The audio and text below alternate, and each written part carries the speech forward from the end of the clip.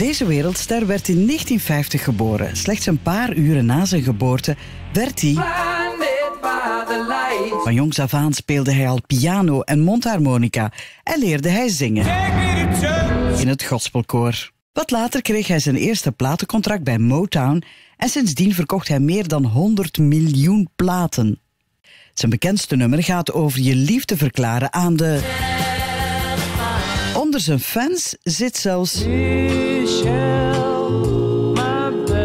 Obama. Die zingt zijn nummers alle dagen onder de douche naar het schijnt. Al bij al dat hij al zo lang muziek maakt.